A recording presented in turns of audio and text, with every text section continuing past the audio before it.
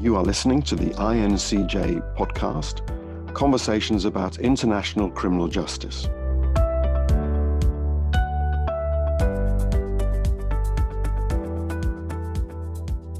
Good morning, everybody. Um, although I should be saying good day, I think, because in other parts of the world it is earlier morning, and in other parts of Europe, maybe it's later morning. Um, but welcome to everybody. Uh, this is the latest in a series of uh, webinar events uh, that's been organized by De Montfort University's International Network in Criminal Justice. Uh, this is a network of universities, but also of criminal justice organizations. And one defining feature of this is our belief that uh, theory uh, as developed in universities should be relevant to, to practice. But at the same time, uh, practice puts theory to test, as well as providing empirical data on which scholarship may be built. So, a defining characteristic of our network is to bring theory and practice together in, in synergy. And today's topic is a matter of conspicuous importance to all of us in this respect. It's essential to ideas of research and teaching, but also in criminal justice practice. And this is the first of two webinars that, where this topic will be discussed. And our title is Decolonization, Cultures and Communities. De Montfort is among those universities that are increasingly recognizing that our approaches to learning, teaching, and research commonly assume Western, European, or Anglo American perspectives, which represent an incomplete and perhaps sometimes distorted understanding of topics and the way in which they may be explored. And at the same time, many criminal justice organizations are working through the challenges that they must meet if they are to fulfill their responsibility to deliver their best practice to everyone. Sometimes practices and institutions are organized in ways that suppose a standard case. But as the late Barbara Hudson used to say, difference is the standard case. There are obvious overlaps between the projects of decolonization and anti discrimination, although they're not identical undertakings. So, to discuss, to discuss this topic, uh, we have with us uh, Kaushika Patel, who's the interim deputy PVC for Equality, Diversity and Inclusion at De Montfort University. Jason Pandya Wood, who's Dean of Arts and Social Sciences at uh, the University of Nottingham in Malaysia, and Brian Stout, who's Dean of Arts and Social Sciences, Professor of Social Work at Western Sydney University in Australia. We also have on our panel uh, Vivian Geiran, who's adjunct uh, assistant professor in the School of Social Work and Social Policy at Trinity College Dublin, and Dr. Chijioke Nwalozie, who's the senior lecturer in criminology and criminal justice at De Montfort University. Dialogue is not going to be an easy thing to achieve except among the panel members themselves, but we're hoping that people in the audience will participate by typing in to the chat uh, on the YouTube. And if you have questions, and I do hope that you have, uh, we will uh, refer those to the panel and uh, and respond as as best we can. Uh, do feel free to tweet about this, and we have a hashtag set up, or will have a hashtag set up, maybe uh, uh so that uh, we can promote the event as as we go along in the familiar way. Um, I think that's all that I need to say by introduction. So I wonder if I can invite Kaushika to, uh, to, to start us off with her presentation. Thank you so much, Kaushika. I was just about to say good morning, but I'll say good day to everybody. Um, thank you very much, Rob. So I'm going to kick off by sharing my screen. And I am looking for nods from my fellow colleagues to say that they can see my screen. Excellent. Right. So a little bit of uh, introduction. So, my topic, I'm going to be opening up with what is meant by decolonization. And as Rob has identified, I am the Deputy Pro Vice Chancellor for Equality, Diversity, Inclusion. But De Montfort University started a project about four years ago, looking very specifically at something in the UK, um, referenced as the Black Asian Minority Ethnic Awarding Gap. And uh, we did two years of that project. So I'll talk a little bit about that um, in my in the next 15 minutes that you'll be listening to me. Um, and that led to um, the project that we've been running since November 2019 called Decolonising DMU. So I'll tell you a little bit about how we got to decolonising DMU, and then I'll talk a little bit about the uh, the concept of decolonising the curriculum and the concept of decolonising or decolonisation in teaching, learning, scholarship, then particularly practice. Um, so I thought I would start with just a little bit of a context um, sorry, should have shared that with you right at the beginning as I was talking through. Uh, so, yes, I'll start with a little bit about my context and my positioning, um, and then about a little bit about the awarding gap, and then um, some of the evaluation that we got from um, the first part of our project when we were looking at the awarding gap. Um, and then I'll move into criminal justice, and then I'm hoping that you'll see how this all comes back round into the circle. Certainly for me, in my practice background, um, having come into academia as a second career and how decolonizing, but also the touching on building an anti-racist university all comes together. So I thought I'd give you a little bit about why am I doing this and why why am I um, particularly passionate about this topic. Um, so there's a lot of titles right at the beginning when you had my name, and titles and labels tell a story about an individual's profession um, you know what they've achieved and what they've done. But also our narrative in our story tell a lot about our positioning our positionality in what we understand and what we do and how we go about learning teaching and how we go about practice as professionals. So i thought a little bit about myself might help you to see what, what my positioning is in this field of decolonizing so I'm a woman of Indian heritage and I was born in Africa, came to the UK, came to England as a refugee, worked in social work, qualified as a social worker and practiced in youth justice and child protection for about 17 years before moving into academia. And I predominantly worked within the fields of uh, care, children's care, education, and the criminal justice settings. And based in Leicester, my service user group was predominantly Black, Asian, minority ethnic young people in my social work training, I was educated, my training was dominated by all white educators. I didn't have a single person of color who was one of my educators.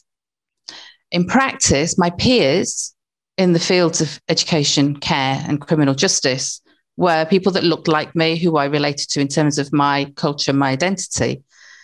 Um, but the senior managers in all the time that I was in practice were predominantly white and mostly male. And the drivers and leaders, when I mean drivers, I'm talking about people and leaders in the criminal justice agencies that I worked with were also predominantly white and male.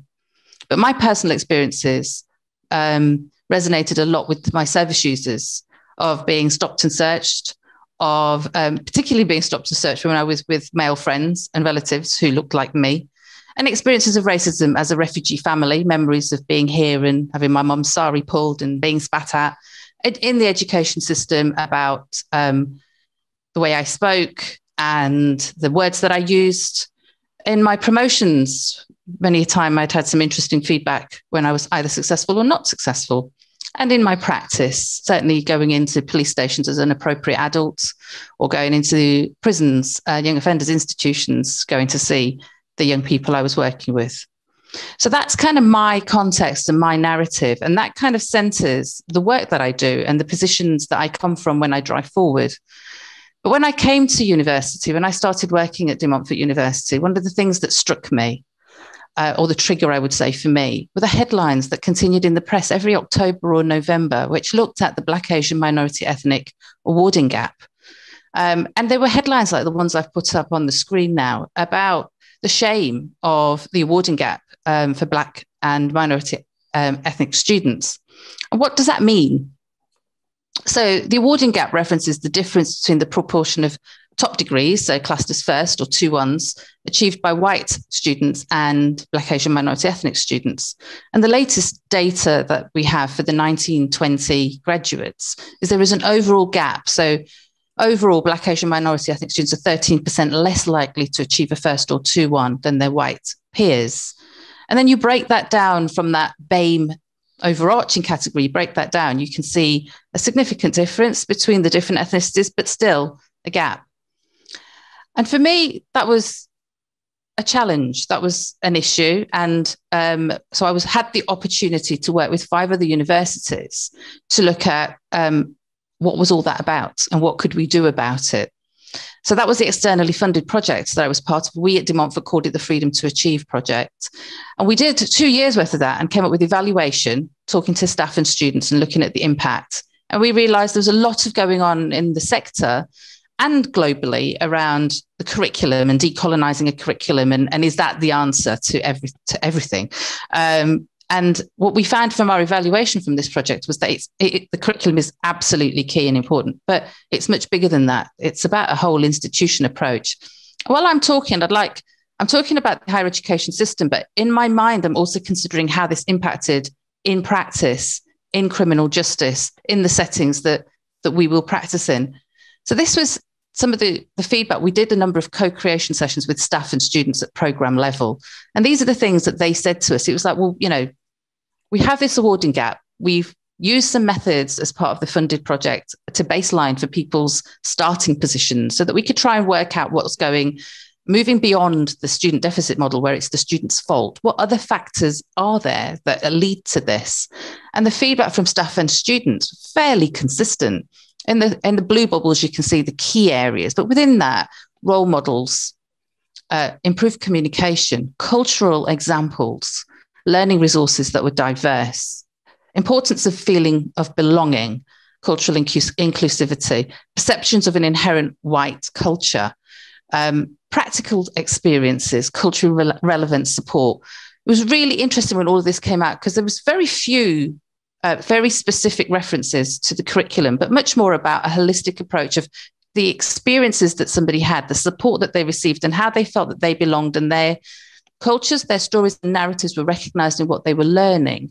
And did that therefore inhibit them if it wasn't there, or would it have supported them if it was there in their learning and in their achievement? So, for the institution, we looked at decolonizing the curricula and the university. Now, there's the campaign Rhodes Must Fall, which started in South Africa and was picked up by Oxford. And one of the things the campaign talked about is what is excluded from my curriculum, by whom and why, and what is the purpose of my education. And I found that particularly interesting because I thought about my experiences when I was training to be a social worker. What did I learn and whose lens through that and whose lens was it that I was learning through? Was it my own or was it through the people that were educating me? So the content of university knowledge for me, and when you look around curricula, certainly in the UK, remains centered in a Eurocentric foundation. We did a lot of analysis of the, of the programs in our institution. Knowledge which is imparted centers the global north as the norm and right as the global north deemed as creators of true knowledge, we looked at our curriculum, we looked at the resources that students were being given, and we looked at where the knowledge was being centered. And that was certainly very true of what we were delivering. And when we look at the criminal justice practice, we look at any practice areas. When you're being taught something that becomes or seems to be normalized, are you looking through it from a different lens, or do you only look through it from a different lens when you're in your home environment or in your own community environment? And does that filter in when you're in practice. So we looked at our institutional structures, cultures, and practices. So we were looking at understanding the impacts of racism. So as a service user and the impacts of racism are the people that are working with you and the education that we're providing for the professionals who are going to work with these with, with people within the criminal justice system looking at and understanding the impacts of everyday racism before they enter the criminal justice system, but whilst they're in it. We felt that talking about whiteness and privilege was really important to center that, to understand that, but also to understand that from the perception of our white allies, to be able to talk about and understand what does this actually mean and what does privilege actually mean. Decolonizing was more than just the curriculum. It was about yourself and the mind as well as the institution. And we felt it was really important that we were able to hear narratives and stories about the sense of not belonging being a key factor in, in how students learn and how they progress, and therefore what they're learning as well. So, as we moved into decolonizing DMU from freedom to achieve, we were trying to work out how we talk about this as an institution we came up with something that we called a working definition, and it was really just trying to work out where this was coming from. We talked about racial inequality in Britain originating from colonialism. We talked about shifting the burden and conversation away from one of deficit and blame and shame. So what we what we didn't want to do was center on individual people, but we wanted to talk about recognizing uh, racial inequalities being built over centuries on the dominant Western and Northern hemispheres, perceptions. And we felt that the scale of the challenge was running deep and it needed to be examined in every part of the norms of university life. And therefore, when you mirror that across into practice, how would that translate? It's a massive project. Um, so we had to split it up into little bits. So this is kind of this. I just wanted to see you to see a visual of how we've broken this up and how each of those what look like individual areas do interconnect, and we work through each of these. But it's a massive piece of work which um, requires the institution to look at itself and for staff and students to also examine their positioning within the institution, within their teaching and learning, and then within what they learn and how they take that into practice, whether that be criminal justice practitioners, nurses, pharmacists, architects, etc. We felt that culturally we needed to look at um, morally bold language. Um, so the, the language of decolonizing, and I know you know uh, panel members come from slightly different perspectives. Um, and the language of decolonizing has been contested within the institution about, well, why are we using the language of decolonizing? It can mean different things to different people. And through the context of the process of decolonization in different countries, it means different things as well. So why are we using that language? But when you look at the, the idea around decolonizing a curriculum, there is a space and place for it to be to be um, discussed in in kind of understanding the norms of what we're taught and how we're taught, certainly in the UK.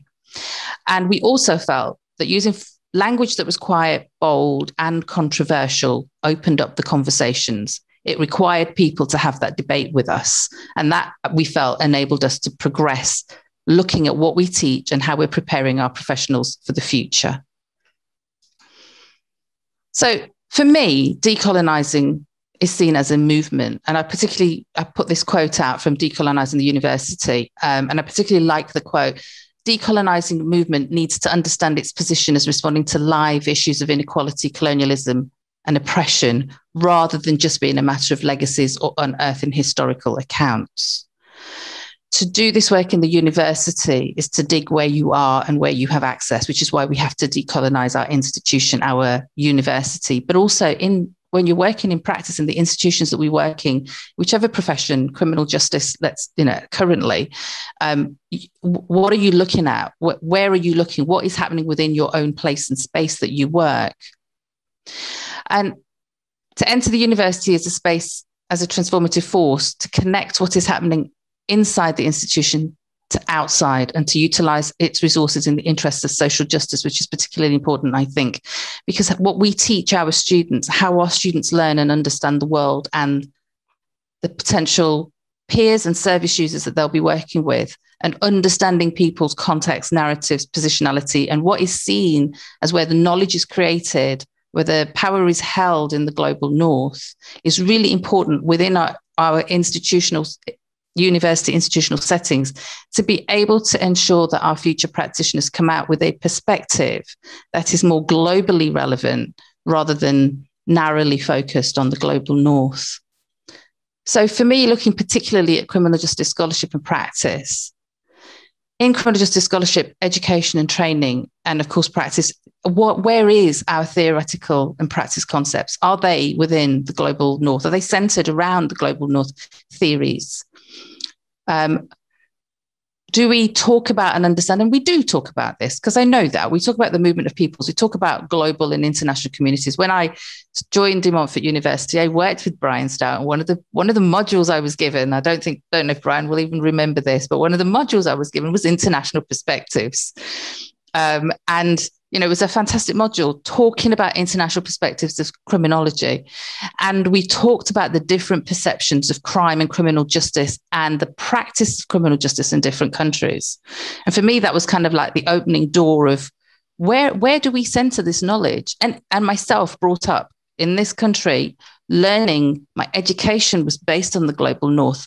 And all my learning and, and all my learning was based on the global north theories and practice. My personal experiences were very different to that. So when it came to bringing those together, it was a real interesting challenge of this is what I'm living, yet this is what I'm learning, and they don't necessarily always connect. So I think institutions, university institutions are in a really strong position to help our future professionals in criminal justice to understand the much wider context beyond the global north. So I've put in that last bullet point decolonized considerations versus dominance of the knowledge of the global north. And I think for me, if I take it back to the beginning where I talked about myself, I think it's really important to hear the narratives, to hear the narratives of our service users in the criminal justice system, as well as our students within higher education, to acknowledge the experiences and to value the voices. So if you have a sense of belonging or do you have a sense of alienation, if somebody is, is, is so I talked right at the beginning about stop and search. My path and the path of many of my family members could have been very different. The number of times that we were stopped and searched, the number of times that we were picked on because of being refugees, our path could have been very different. We could have ended up being stereotyped and stigmatized and gone down the criminal just into the criminal justice route rather than working in the criminal justice system. So that sense of belonging and alienation could take you either way. And it's really important that that is understood within practice and how we teach that within universities when we're, we're preparing our professionals for the future. The impact of what we teach and what is seen to be important and whose stories and whose narratives are seen to be important. For me, that's decolonizing in an institution, understanding what is censored and who is heard. So you need to consider the alternative realities or norms for our scholarship, our training, and our practice. So for me, as criminal justice practitioners and as criminal justice educators, what is your norm? What is your reality and what lens do you practice through? And how does that connect to the students in your classroom or your service users in front of you in the courts, in the prisons, in the care system, in the education system? For me, decolonizing is about understanding that centering, that broader global majority narrative experience, um, and moving not away, but moving to building together the global north and the global south to have a much stronger understanding of peoples so that when we're practicing and we're educating, we're educating around a global majority rather than a global minority. And I think I have come to the end of what I wanted to say. I've just got a little bit up there, and I'm sure this is being recorded. So if people wanted to find out a little bit more about what we're doing at the university, there's some information there.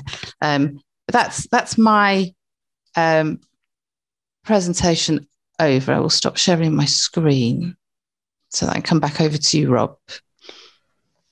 Thank you so much, Kaushika. That's a fabulous way of beginning these uh, these two uh, webinars uh, and a, a, really rich overview.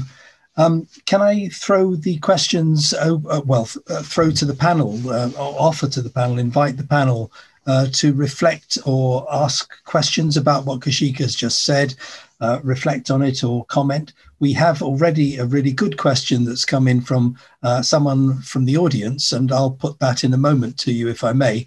But can any immediate thoughts or reflections on what uh, Kaushika has just said? Jason. Hi, Kaushika. Thank you. That was a, a really interesting, engaging, and um, thought provoking uh, opener. I just uh, I was struck by one of the things you said uh, as the findings from the feedback from uh, uh, the focus groups and the discussions, where you were saying, "Am I right that actually uh, people weren't talking a lot about the curriculum?" And I just wondered what your reflections on that were, and and whether there, there's something underneath that.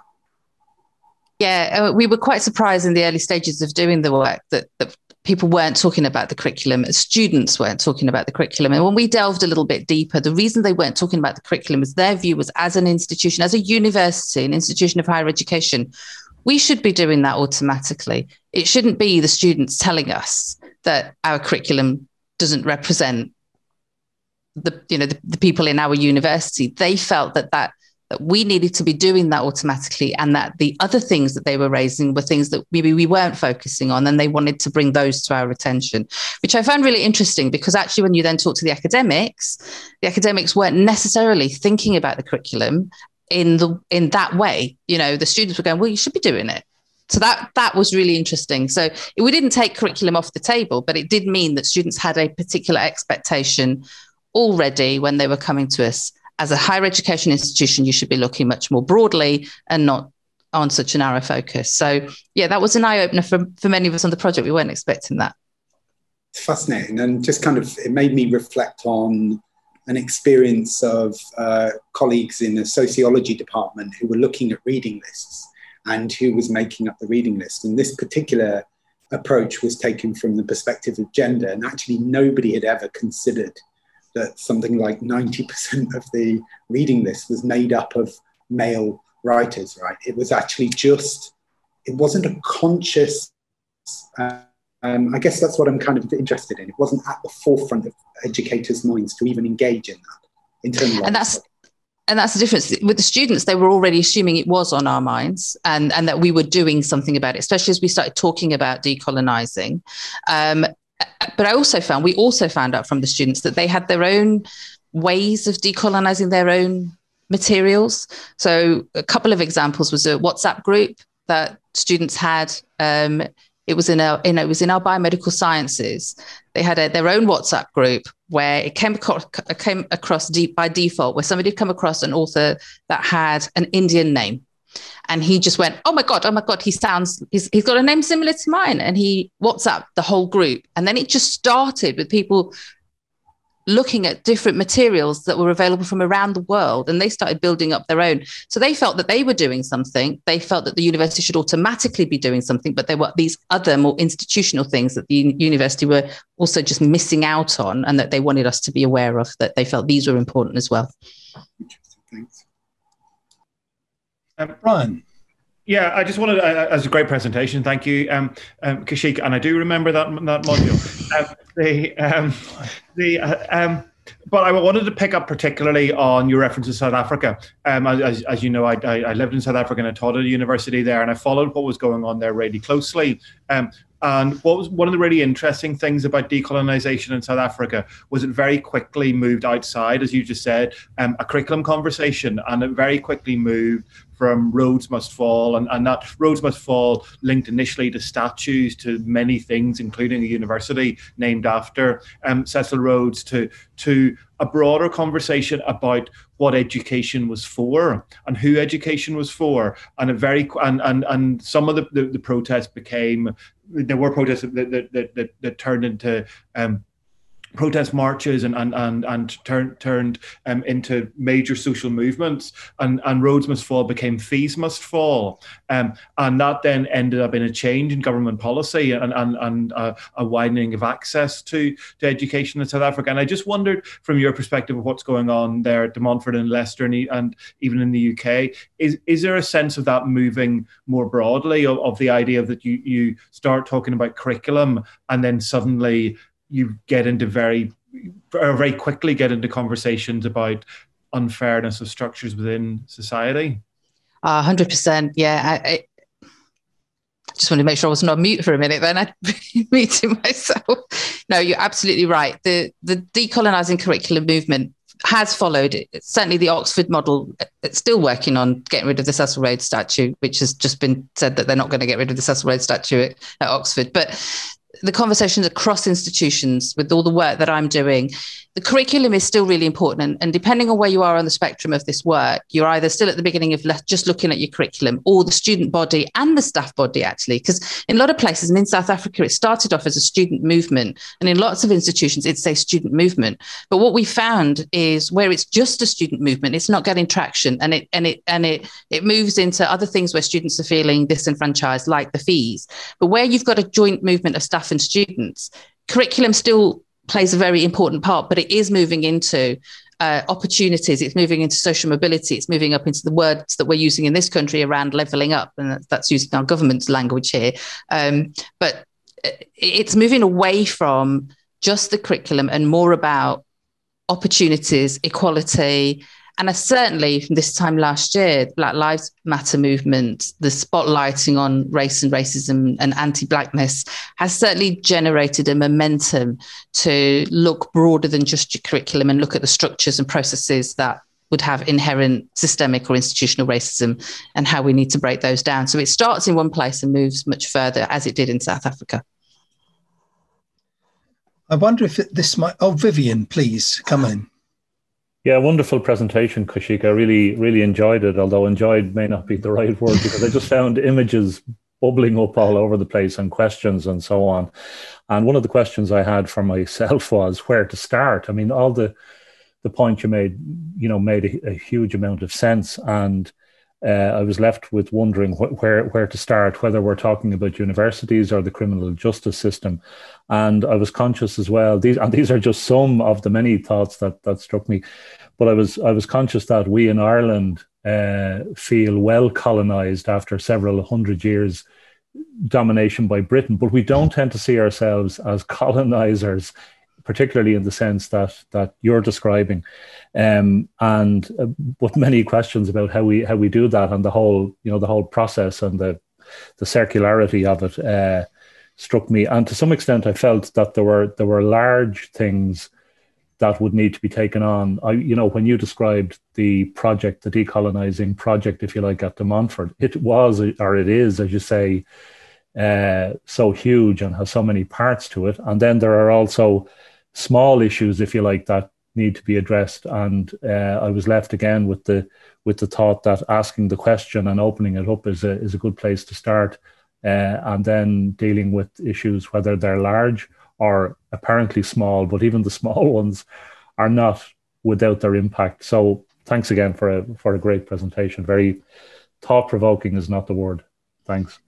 Thanks, Vivian. I will say that it's a I, I, didn't go into this with my eyes closed. I didn't. I don't think I went into this naively, but it's um, even the, the, as you call the smaller things. As we've gone through, one of the people in the chat when the co- conversations is James Tangen. James has been to a number of the sessions that we've run on decolonising at De Montfort, and even some of the smallest conversations have generated massive debates around what is decolonizing why are we doing it who are we centering where's my place as a white person and how do i be an ally and why should i be an ally and the the the, the you know the the the race theories have come up um, you know conversations around um, the importance of allyship uh, every little thing that you can imagine has come up as a conversation and sometimes it's having a conversation and sometimes it's um, generating a debate where you have no idea where it's going to go, but you have to trust to let it happen. Because if you don't have the conversation, you close it down a whole group of people who was quite who are not comfortable with this. And I when I do things at the university, I talk about uncomfortable conversations, and this generates has generated and continues to generate a lot of uncomfortable conversations across the spectrum of peoples. It's not just uncomfortable conversations for white people who are who feel that you know uh, are we all being called racist, which is not what this is about, but also from Black Asian minority ethnic people who are saying, actually, you know, this is doing a lot, potentially could be doing damage to us because of impacts on focusing on who we are and what we're doing when people don't want to do that. So it's a whole spectrum of debates, conversations, un- uncomfortable uh, conversations that are right to have, but difficult to have. Can I just jump in as chair uh, for a moment, please, just to um, try and keep us within time? We've got some really good questions that I don't want to get lost. Uh, and Kaushika, you mentioned the name of, of James Tangen, and James has come in, uh, as is his custom, with some really perceptive questions. Um, one of which is here we are trying to cultivate new forms of knowledge and to decenter uh, Anglo uh, and American perspectives. Meanwhile, uh, very often the university is being judged on the basis of, of established metrics that don't necessarily acknowledge or recognize that, that, that change of focus. I hope I haven't misrepresented James. I haven't just read out his words. But uh, is there a potential uh, difficulty there for universities saying to people who evaluate our work, we don't do it in that way anymore. We're trying to do it differently. And is there a, a cost and, uh, uh, uh, in making those attempts? It's a, it's a really, really good point that James Tangen has made. And James, is, I know, talking from the experiences of the metrics that we are judged on as, as a university in the UK, I'm not familiar of how it's how it is in other parts of the world, but um, when we first started this work, yes, the, the, the, metrics were actually part of a business case. And, and to open up these types of debates, um, you have to have you have to have the momentum from the top. And often talking about race, talking about decolonizing, talking about uncomfortable things is very easy for people at the top to close that down. But when you present a business case, and actually I found the metrics as a really useful business case to say, at the moment, look at our awarding gap. If we were to close that gap, our metrics would look better and we would move up the league tables. And so I was able to get traction that way. And across the sector, that's happening. However, as we've moved over the last three years and people have become much more aware of the importance of the values and morals around this work. It's just morally wrong that we've got this awarding gap. And that actually students are looking at us. Students are looking at the gaps, looking not just at the uh, the, the BAME awarding gap, but there's the disabled students awarding gap, the mature students awarding gap, and, and different gaps. And when you look at it like that, there's actually now, I would say, a critical mass of awareness of, of scholars, of educators, and of managers who are aware that actually there is a, a values and morals based reason why you do this. And therefore, people like Office for Students in the UK and Universities UK are now beginning to support this work. But also, there is the business case around it because if you're improving outcomes for people, more students will come to your university, you get better outputs, you'll move up the league table, that whole cycle. So it started off as a problem, but we're actually being able to utilize that metrics model to enable us to get funding and move forward. So, you know, we've been able to turn it around on itself, starting to turn it around on itself a little. Thank you very much. Uh, James has asked another question, which is another, I think, really interesting and perceptive one, um, asking whether there's a, ref- a role for what he refers to as a refusal in criminal justice practice. So when it when personnel come to recognise that some of their habits and customs and routines are actually harmful, but they are still working within an agency that hasn't yet caught up with that. Um, how how is that to be expressed? And linked to that, uh, how are those universities involved in vocational training able to empower practitioners in training to give them the confidence and the authority uh, to, to hold that principled position?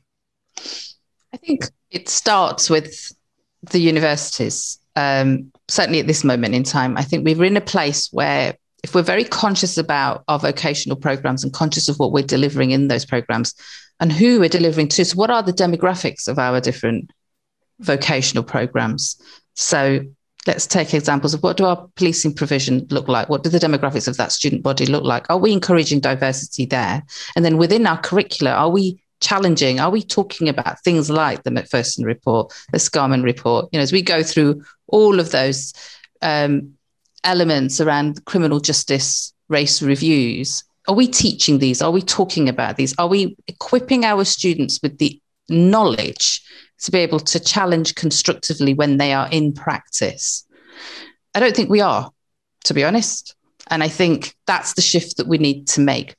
So I think it's important that we work with our partners. And I think that is a challenge. So the we still I still come back to there's the business reason why we try we persuade our partners to look at the curricula and how that should change.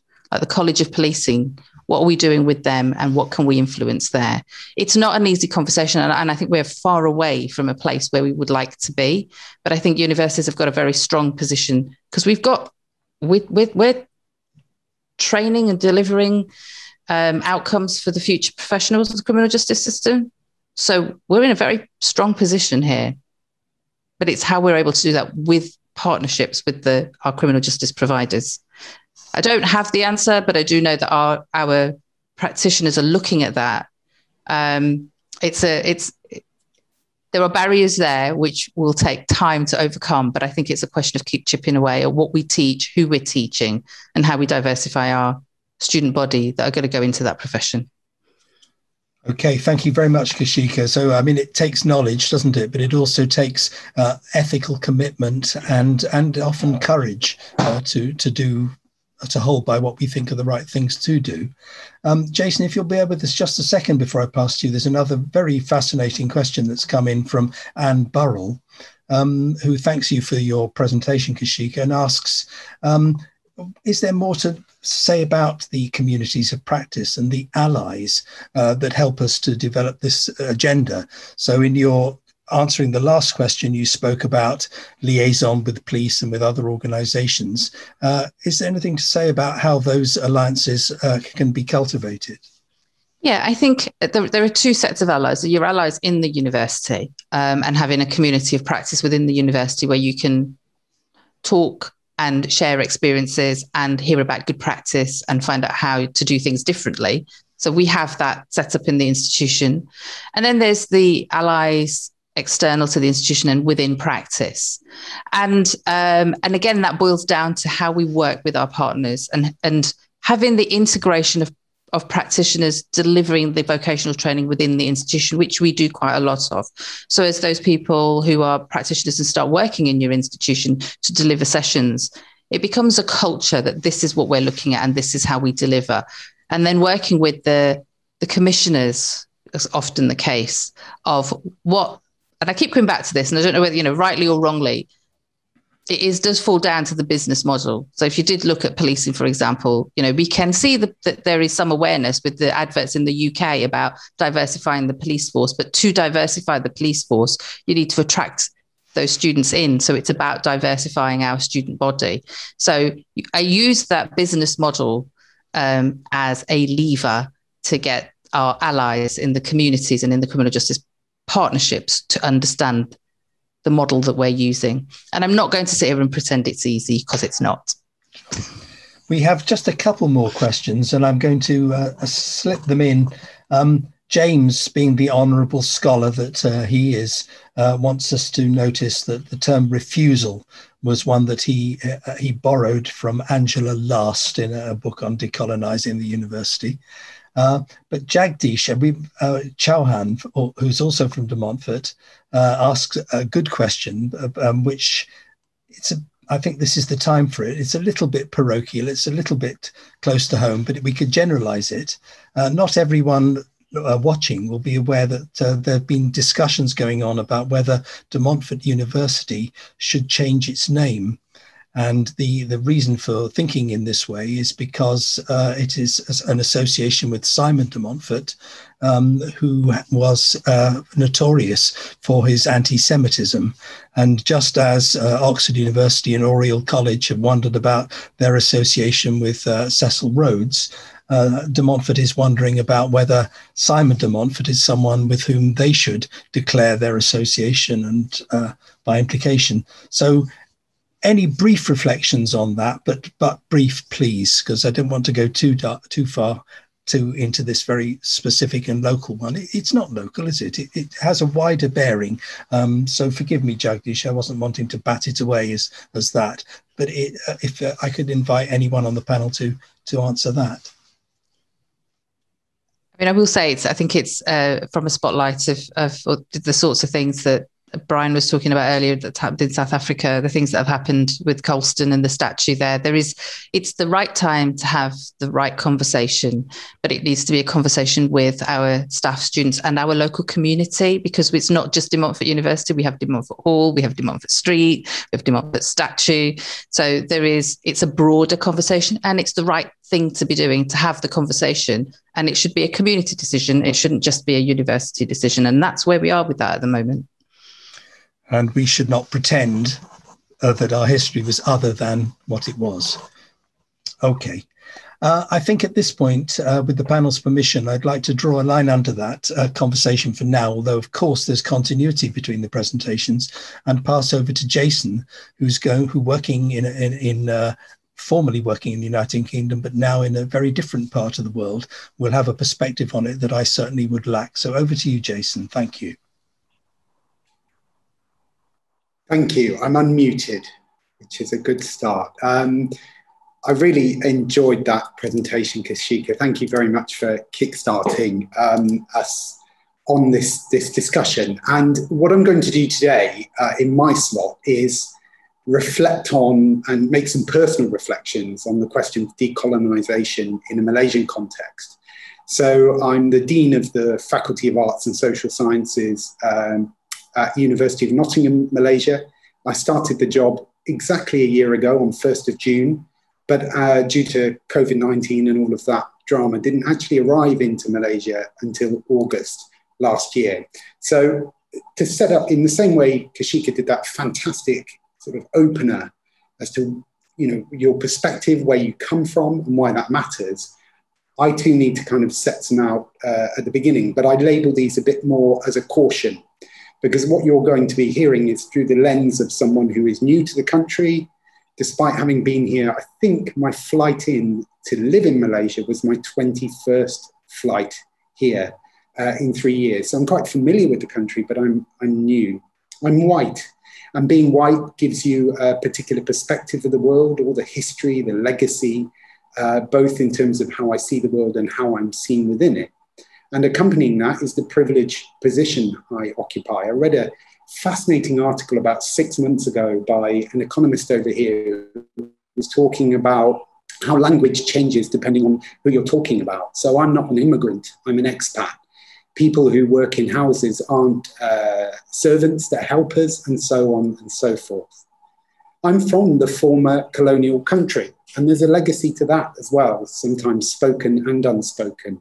So the ways in which I'm treated, depending on what agency organization I'm interacting with, depending on the age of the person I'm with, uh, will uh, will change all the time. And there's there's lots of that sort of legacy that underpins those interactions. I'm from a privileged institution. I'm in a university that is genuinely international. It's genuinely global. We recruit our staff and our students from around the world. Um, actually, the kinds of challenges DMU is talking about in that British context about decolonizing the curriculum and decolonizing the institution. We're facing from a slightly different perspective in that our staff draw on the world's academic knowledge to inform their teaching because of where we are in the world, but we still have those strange ties to a British institution. And we've been here for 21 uh, years. I should also say that um, Kaushika men- mentioned her sort of first social work module being international uh, perspectives as being a, a, an opener or a moment of change or something that kind of uh, opened up a different world of knowledge and, and felt comfortable. I too have kind of uh, had a pivotal moment, and it was at, at DMU uh, where I had a, a sort of uh, an educational experience coming into contact with Black perspectives my youth and community work uh, degree. Two modules that really opened up my eyes to, some, I guess, to challenging some of the assumptions I had about the value of knowledge, about where knowledge comes from. And I've, I've been reflecting a lot on that over the last year, particularly as we sort of one year's anniversary from George Floyd's death and thinking about the Black Lives Matter movement. And I wrote about some of this recently about 27 years of kind of struggling with concepts of race and racism and keeping all the time, as best as I can, questions of race, questions of racism, and questions of my whiteness at the front of my identity. So, despite my newness, my whiteness, my privilege, coming into Malaysia, I'm looking at questions of race, of uh, colonialization, of decolonization from those perspectives. By the way, that sign there, Awas caution, when I used to arrive at KLIA, our international airport, at 2 a.m. in the morning, uh, delirious from travel, uh, uh, travel I can't even remember. It's been so long since I flew on a plane that what it's called, but it's, it's jet lag, isn't it? When you get jet lag, and I come off the plane, and the very first signs I'd see as you're coming out the airport is this big yellow and red sign saying awas, which means caution, warning. And it's the one uh, Malay word I still like to use on a regular basis. So uh, I'm not going to kind of go into the history uh, of uh, Malaysia and its relationship to Britain because you, you, will know this, or there are much more authoritative sources uh, to draw upon. But I did kind of want to just uh, dip into some of it. And it's really timely because actually, before I was asked to do this seminar, I've been reading this fascinating book by the former Attorney General here, Tommy Thomas, who reflects on his, uh, his career in law and in justice over a, a really interesting uh, set of periods and, and moments uh, in, in the history of um, Malaysia. So, Malaya, as it was called, British Malaya, was ruled by the British until independence in 1959. There was a brief interlude with Japanese rule here. And that independence is known as uh. And as you can see in the first picture there, we get once a year a really wild celebration. Um, again, I've been here during lockdown, so I've uh, not had the, the pleasure of uh, replicating what this guy is doing there. I think I've got the physique for it. I think I could pull it off, but um, I've not yet had the chance to do that. But that marked the independence. But it's a really interesting period of time that followed because as institutions began to adapt to this new world and as uh, the country began to change and, and try to position itself, it came into all kinds of new conflicts that were the legacy of uh, colonialism. So, race riots, for example, challenged that sort of one language, one identity notion, Malay Malaya, which was argued to be one of the contributors to the separation of Malaysia and Singapore in 1965. These were seen as even more important in 1969. Thomas calls it the single most transformative event in terms of the history of this country. It was the end of the sort of three main racist settlement, the Indian, Malay, Chinese, that occurred at the end of colonialization towards this sort of period of emergency, suspension of parliament, a focus on what's called Ketuanan Melayu, which is Malay supremacy. There's a real focus here on trying to even out um, a long history of economic suppression of different groups, and particularly at this point in that history of Malaysia, recognizing this one group, the Muslim Malay, as the supreme, led to all kinds of uh, challenges thereafter. Now, if we compare that to what happened to Singapore, which adopted a sort of CMIO, Chinese, Malay, Indian, and other, a separate but equal sort of approach to designing its society, um, you can see a split between how those two uh, different um, uh, kind of post-colonial states adopted, adapted to their new uh, terrain. But it is important to say it's not as clear color. So in Singapore, a lot of this is about in theory, right? There are a number of problems uh, in terms of how uh, race and class intersect there as well. But what we know is a lot of the issues around race, um, if you look at research uh, from then and look at it now, that actually the racial categorization that led to some of those challenges in 69 onwards and still persists today are inherited from that British define and rule. So um, Reddy and Gleibs did this really fascinating uh, qualitative piece of work where they looked at the, how the cultural legacies of colonialism continue to construct racial identities today. And in their paper, it's a really kind of telling example. You compare this quote, which is uh, from Whamford Locke, writing in 1907, kind of classic uh, colonial piece of work about mining for tin and gold and who you, who you employ from the different races to get your work done. So, from a Labour point of view, there are practically three races the Malays, including Javanese, the Chinese, and the Tamils, who are generally known as Klings. By nature, the Malay is an idler, the Chinaman a thief, and the Kling is a drunkard, yet each in his own class of work is both cheap and efficient when properly supervised. Now, jump ahead to uh, last year, year before, a study that looked at the views of Malaysians and Singaporeans across three different countries Malaysia, Singapore, and in the UK. And some of these kind of stereotypes, views of the other, still are found within the accounts of participants. Indians as alcoholics and laborers, Malays as lazy, Chinese as kiasu, selfish, grasping attitude. What's really um, quite uh, dispiriting and, and, makes one pause when you're reading that is how much those um, stereotypes are also internalized. So people who will seek to distance themselves from cultural stereotypes because they've bought into the stereotype and they are deciding through different actions to move away from them. Now, this is always a chance to show off my family, so forgive me. But our everyday experience of plurality is a very, very interesting one. I come from Leicester, like Kaushika, um, multicultural, interesting city, one which I felt uh, always proud with my multicultural family to be able to celebrate things like Diwali with big fireworks display. I think I may not. I know these we should be academically authoritative all the time, but I'm sure I heard once that our celebrations on Melton Road in Leicester are the biggest outside of India. I'm getting a nod from an authoritative source, so I will continue to use that story uh, till the day I die. But hey, you know what? My kids still had to go to school on Diwali. Uh, in terms of uh, Chinese New Year, I, I think we got um, our youngest came home from school in Leicester one day with a homemade lantern, but we didn't really understand the uh, Chinese New Year. We didn't really get the significance of some of the lessons around it and so on. Here in Malaysia, it is very different. Our everyday experience is very plural. So we have, uh, at last count, I think, and please, those in the UK, don't throw tomatoes at the screen. 17 public holidays. That yes, I can see mouths opening uh, across uh, the YouTube audience. Um, 17 public holidays, but we celebrate Christmas. We don't celebrate Boxing Day. We celebrate Christmas, Diwali, Hari Raya. We had two days off for that. Chinese New Year, we had two days.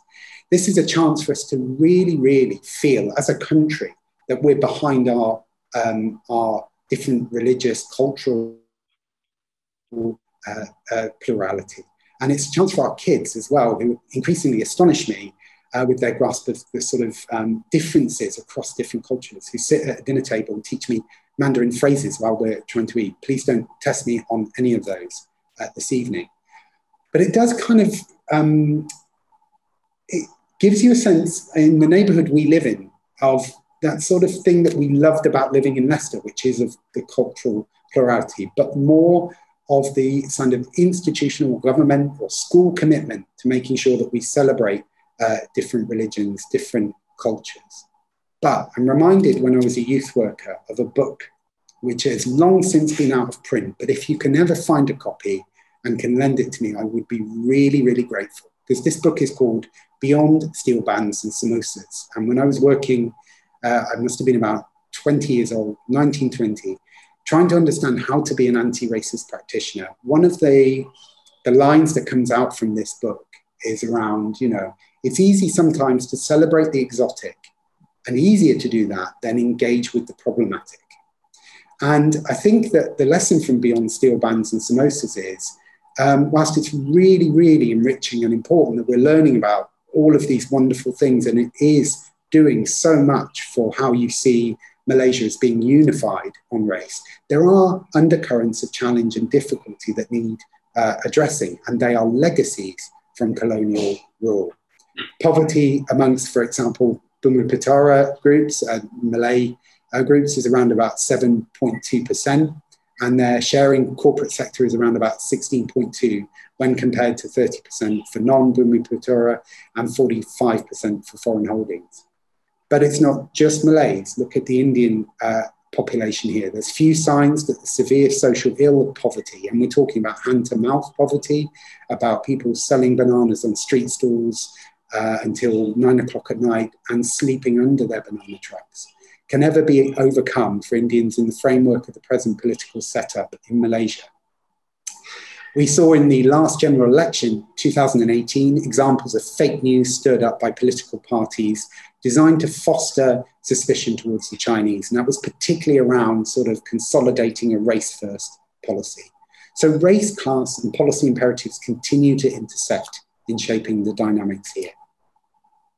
But decolonization is in the debate here. It's a different kind of debate. It's not the debate about universities necessarily uh, in the UK having to look further afield.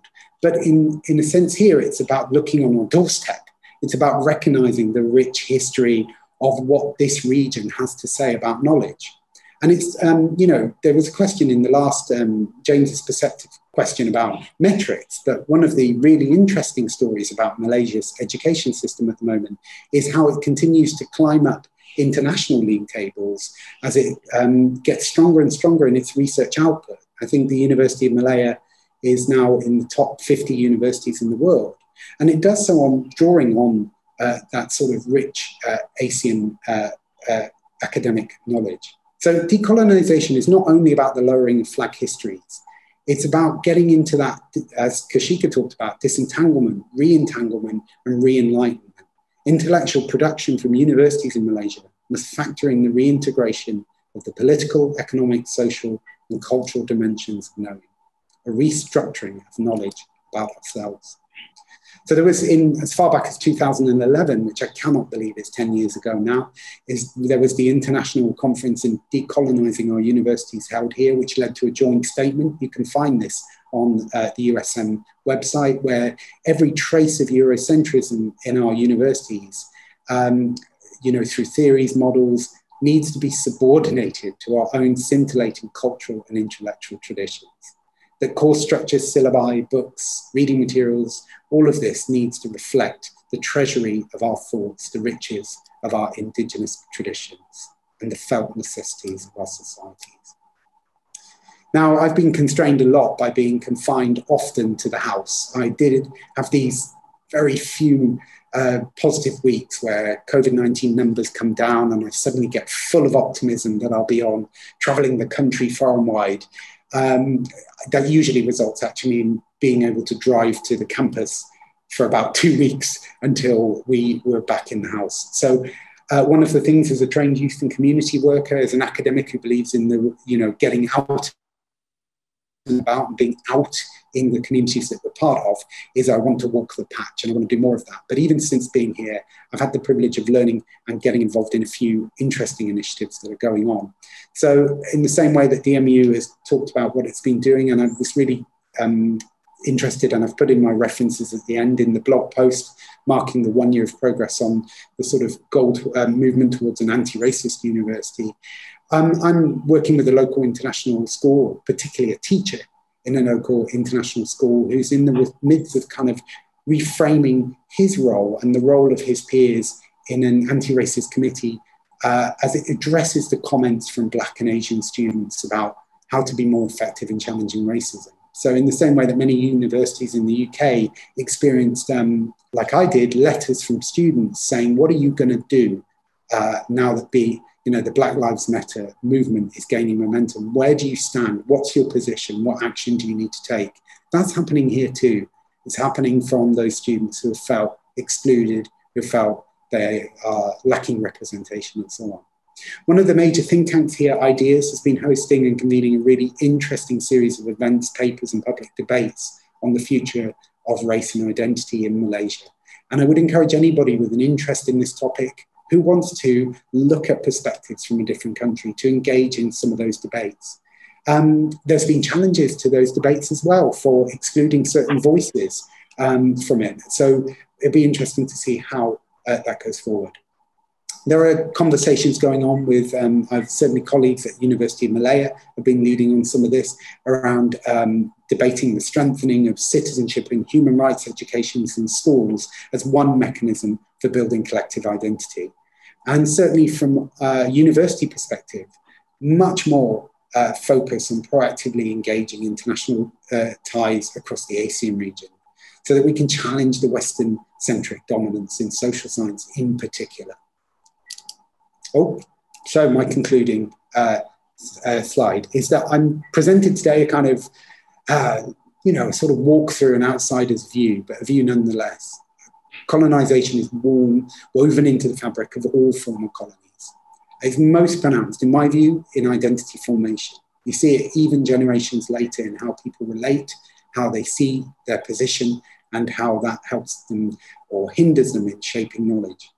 The decolonization project here, if there is one, is focused on three threads. The first is understanding and shaking off the legacies of colonial racial categorization and how we describe ourselves in relation to others.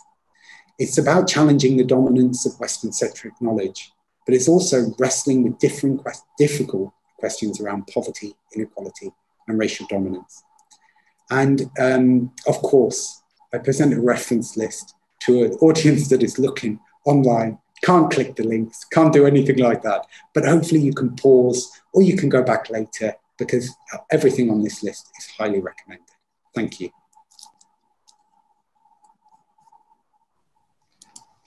Thank you so much, Jason.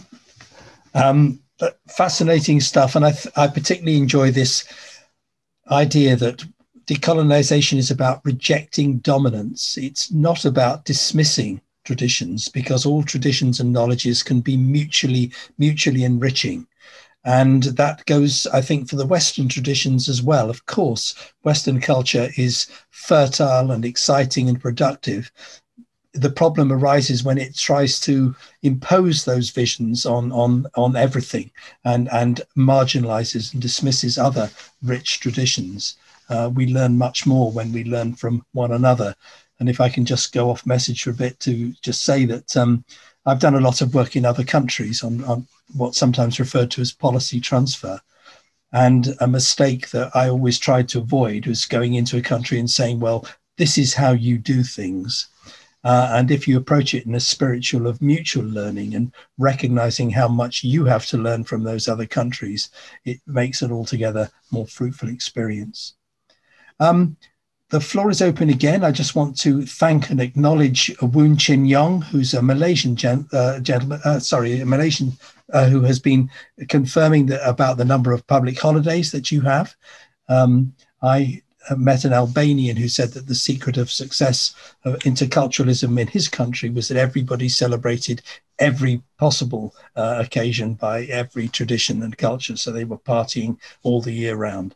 Um, which might explain why it's rather hard up as well as quite traditionally quite peaceful. Um, open to the panel. Uh, please react and look forward to some more questions coming in on the YouTube stream as well. Kaushika. Thanks, Rob. Thanks, Jason. Uh, really great insight into your first year in living in Malaysia. I would say that I know you've been in and out of Malaysia for, for a long, long time with your work, but um, a really good insight into kind of your positionality around it. Um, and that was really helpful. What I found really interesting is towards that your end slide when you talked about if there is a, a project of decolonization and the three points that you made. So I, it's it's a question I think, but it I, I don't know I don't know how to put it as a question, so I'm just going to keep talking, and then you'll take something out of it. I hope. So, what, one of the things that, that tests universities, I know is testing universities and it's testing my universities, is the is a thing of transnational education and partnering with international universities. And the, the debate as part of the decolonising project at De Montfort is about the transfer of some of our policies and procedures with into the universities that we are partnering with along on the programs that we we we, we will be sharing or underwriting or however you want to you want to describe it. And you talked about um, the western centric knowledge or challenging the western centric knowledge in the malay university doing looking at that and doing that. How does that work with so you're it's nottingham university malaysia. How does that work in terms of tran- knowledge transfer, sort of thing that Rob just talked about, but educationally, and the context of the institution or the context of the country that that institution is in. So we're having lots of those debates about what are we teaching and how are we contextualizing that teaching in another country, but it's the program that we deliver in the UK. How how do you work with that? I think it's a really good question. And I think um, you're, you're right in saying, I mean, it's, it's an interesting um, position where my institution is. So it's University of Nottingham. It's in Nottingham in the UK, it's in Malaysia, and it's in China. Uh, now, what you'll see is certain things that will cross all three of those campuses and be fairly unified. But um, what we what we see less of is that here's the UK product. Now go deliver abroad, right? So now take our product, go deliver it in Malaysia. I think probably branch campuses, and I, don't, I haven't worked in them long enough to know, but I, my sense of them is that in the early days, sort of flying out the faculty to deliver content abroad was probably the dominant model. But if you take something within my faculty as an example, media and culture.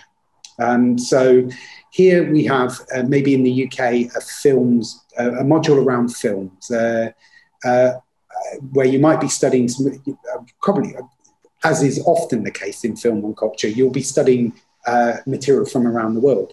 When you come to Malaysia and you study film, you'll be looking at Indonesian cinema. You'll be looking at the history of Malaysian cinema. You'll be looking at things that are very sort of built within the fabric of the country where people are, despite it being an institution that has that British roots. But, but I think you raised something about what is always going to be a challenge that we have to work on, which is how, how do you kind of make sure that we avoid any sense that Nottingham, UK, is a mothership and that its, its branch campuses are somehow satellites. Now, again, maybe 20 years ago, that model was certainly true. I think now, increasingly, and a lot of this is coming out of Nottingham itself, largely affected, I think, by the debates around decolonisation, around uh, where, where do we get our knowledge from, that actually we should be driven as much by what the Malaysia campus has to say about the state of the world uh, and China campus has to say about the state of the world and how that influences Nottingham's growth and development. So creating that sort of dialogue to be on a much more equal footing. Now, in reality, yes, that's happening. Let's not forget that the mothership that we just described is very, very big, very large. You know, I alone have I have my uh, with two faculties. I'm the dean of one of them, and I have three faculties I relate to back at home uh, in the UK at home. So there's there's all kind of tension in terms of size, scale, reach, history. Um, that, that will take a long time to overcome. But the principle has been set, which we are, you know, a, a university in three countries, three campuses, one university, and we, we need to be able to draw on those uh, other sites uh, to inform our development. Does that answer your question? It does. Thank you. Chijioke. Uh, sorry, Chijioke. Yes, please. Can you hear me? Yes, clearly. Thank you. I'm just um, taking from uh, you know what um, Jason is answering now. Just uh, that's um, Kaushika's question again about challenging Western-centric uh, knowledge. Uh, I'm one of those um, you know people that so much challenge uh, that uh, Western-centric knowledge, and I've also um, shown that in one of the papers I, I published recently, Nwalozie 2021, um, on Western criminology vis-a-vis Nigerian criminology. Um, see, when talking about this decolonization, uh, that brings to bear because um, we from the global south always try to use Western or rather the Anglo-American uh, theoretical perspectives, you know, to explain crime and criminal behavior. And when we do that, we don't seem to get it right. There are things that are still lacking, you know, in in the whole thing because Western criminology, Western criminologists are imported into our own culture. I liked what uh, you know Rob said that um, decolonization is is about rejecting dominance. They dominate, and the principally American criminology dominates so much the vast of the world. When you are studying criminology, if you don't put in what American scholars have said, you have not started. It has also come to Britain as well. American and the British, these are the only two areas that you must have to bring in. So when I was In fact, the whole thing started when I was doing my PhD, you know, interviews, and um, you know, I was interviewing people in Nigeria and trying to match up with theoretical perspectives. That was extremely difficult to explain subcultures in Nigeria, and then I ended up criticizing these subcultures. That's how I came into the study of subcultures. That's how I came into the, the, the criticism of Western Eh, you know, theoretical perspectives because they will only give you the periphery. It, it's like this. They will not go, they will not go into the, the, the deeper culture of the people to know why they do what they do.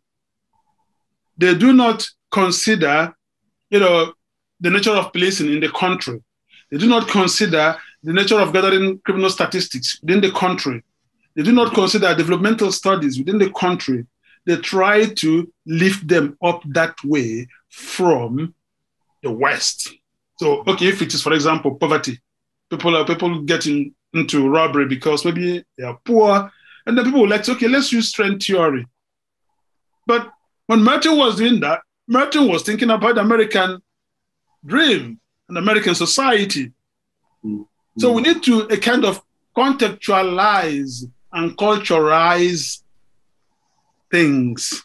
And then we can then come into the open to say we share it with others. I, I would rather prefer the idea of diversity so much, you know, to decolonization.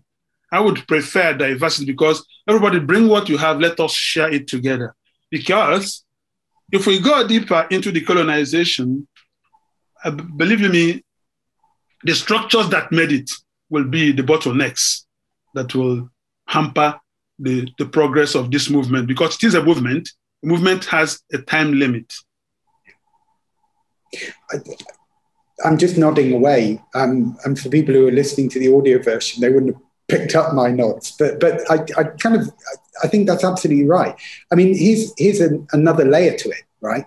So criminology we're talking about right now. There is almost no such thing as as the name of criminology here in Malaysia right? There's there's there's uh, law, there's social sciences, but that branch, that whole sort of thing that we, the industry of criminology that we know uh, that emanates from the US, from the UK, and speaking as someone who's been, you know, intimately connected to that, um, is is not here.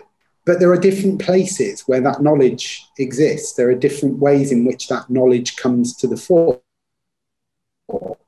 And there are different debates that are to be had. And I think one of the, the most frustrating things I found just before I left the UK was that 95 out of 100 people were would either give a mix of good-natured envy at the, the warm weather and good food I was looking forward to, uh, or you know, good well wishes, all of that. But there were five percent of people who had a whole kind of set of assumptions about where where we were going and what that part of the world was, and from that that outlook, you know, that sense that have you thought about human rights? Have you thought about this? Have you thought about that? And part of your your really eloquent um, response there, it, it captures that sense that actually we see the world through that prism, don't we? We we make all kinds of judgments, make all, and from a discipline or from our own worldview that shapes our of you. Whereas actually, when you get on the ground here and you talk to people, you see there's a whole different currency of knowledge, a whole different set of perspectives. Now, I guess my challenge to the social scientists of Malaysia is to get those stories out, get those theories developed, do much more work. And we know there are criminologists uh, from Malaysia who've contributed significant work around, for example, white collar crime that's challenged uh, dominant Western perspectives. But much more of that uh, is to come, I'm sure. Thank you. Thank you so much, Jason. Um, I think it's uh, Dave Ward. Um, you have your hand up, I think. Do you, Dave? Please, yes, please, please join in. That's correct. That's correct. Um, I've um, I've got a um, a question really which relates to both Kaushika's presentation well, a question stroke comment which relates to both Kaushika's presentation and to, uh, and to Jason's. Um, and, and all along, I've been trying to relate what I've been hearing specifically to criminal justice. Um, although we've been talking very much from an educational and an educational institution perspective. But I was struck very much when Kaushika said that when they were doing their explorations, surveys um, at, um, at De Montfort, that it wasn't the curriculum as such which came up as the top of the agenda for deconstruction and decolonization, but it was the things that went around that. And so I was kind of saving up a question for later on in the um, in the seminar, which was, well, is the problem is the problem then not the law, but the way the law that is applied is applied? If we're thinking about um, decolonization in a criminal justice concept. But then, as we've been to, as as we've been going on, particularly as J- as Jason's been talking, I thought, well, clearly the law is very cultural cultural centric, um, and the law which has um, been the law which has been um, which exists in so much of the world, is grounded on the laws that were brought by the colonists. And then I thought, hey, as Jason found a way of unlocking this? In that he, he suggests that we really have to start at a ground level. And I think he said human rights education if we're going to um, move forward um, to create a decolonized, a diverse, um, a diverse society. Um, and I just wondered if any of um, any of the uh, of the of the speakers and panelists had themselves any thoughts about the degree to which the law is a problem, or is it the application and all of the things that go around it which is which is the greater problem.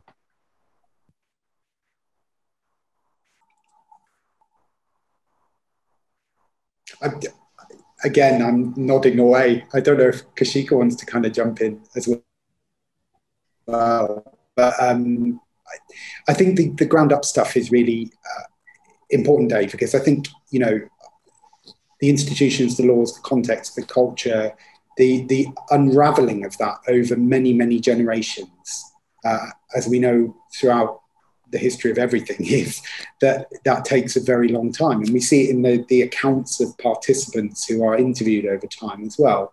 But I think what we also see, and you might recall, Dave, 20 years ago, I was doing stuff on young people's citizenship then, that actually um, there are very interesting alternative accounts of young people coming up that if we listen to, acted upon, engaged with in a much more constructive way, not necessarily just teaching about how to be citizen, how to be, you know, engage with human rights. If we create the capacities for critical questioning and we get people much more, uh, the institutions embedded within the communities that they're situated in, you can begin to get that collective voice. And there's all kinds of practical examples of that um, uh, that you can draw on. I was also just thinking about one of um, this links, I think, Kaushika's point before about the sort of um, transnational aspect of this. That I think a lot of work around these sort of, well these sorts of projects or debates or issues has tended to see policy transfer as a one way or an adaptation thing so, and I'm like I'm guilty of this to to a large extent. In the, in a previous job, I do lots of work around training police or probation, and then I jump on a plane and talk to other people who are doing police and training, uh, police and probation training, and share knowledge and you know engage in that. Uh, whereas more exciting work actually, uh, if I point to a colleague um, in public health who's developed a really interesting and exciting partnership with uh, Uganda, and their method of knowledge exchange is genuinely two way. So, how do we improve the health outcomes of residents living in Nottingham by drawing on the lessons of community health workers in villages in Uganda? And in turn, how might Nottingham be able to contribute something to the monitoring and evaluation of that work in Uganda? So, genuinely seeing actually that people are coming to the table for an exchange of ideas and a dialogue. Thank you, Jason. I'd like to give the floor to Brian in just a moment because I think it's uh, we can carry on these conversations. I suspect after Brian's contribution has enriched enriched our debate. Um, I just want to make two quick reflections. Uh, I use the expression policy transfer, and I think the expression policy exchange is a, an altogether better way of understanding it for the reasons that you just described, Jason. That it has to be a, a mutual respect and the a recognition of the opportunities of learning uh, one from another, rather than I know this and I'm going to transfer it to you. Um, the other reflection I've got is that uh, um, the, the question of human rights, and we may not have time to explore this fully today, but there are those who have said that the whole human rights discourse is itself profoundly colonized. Um, and although it's something to which the United Nations have subscribed, maybe the United Nations as an institution reflects the dominance of, of thinking of which we're not all fully aware. It's just simply so taken for granted you know, when Chijioke said that uh, there were generalizations made by American criminologists, very often they're not even aware that they are general, whether that they are suppressing other traditions. To them, it's just self-evident. It's common sense. It's so embedded in the way in which they think. Anyway, I'm abusing my position as facilitator. As like you're so, it's your fault. You're also interesting that I uh, need to reflect. So I'm going to be quiet now, and I'm going to invite Brian uh, to talk to us from Australia. Thanks, Brian. Thank you. And I hope you can all see a big W on um, the screen. Can I have a, oh, I get a nod from Kaushika? Thank you. Thank you very much. Um, I'm um, speaking to you from um, from Sydney in Australia, and I'd like to start by acknowledging the country where I'm speaking to you, um, with respect for Aboriginal cultural protocol, and out of recognition that its campuses occupy the traditional lands. Western Sydney University acknowledges Darug, Eora, Dharawal, also referred to as Tharawal, and Wiradjuri peoples, and thanks them for their support of its work in their lands in Greater Western Sydney and beyond. Um, as I'm speaking to an international audience, I feel I need to say a little bit about the, the acknowledgement of country. Um, the acknowledgement of country is, is something, this, this, acknowledgement of country that I've just given is um, uh, is, is agreed by our university. It speaks to our multi-campus university and acknowledges the different groups of people. And it's one um, that, that we're traditional owners of the of the land. Um, we are. I'm also. I'm speaking from home now, and and, and my home in the inner Western Sydney um, belong to the Gadigal people of the Eora Nation.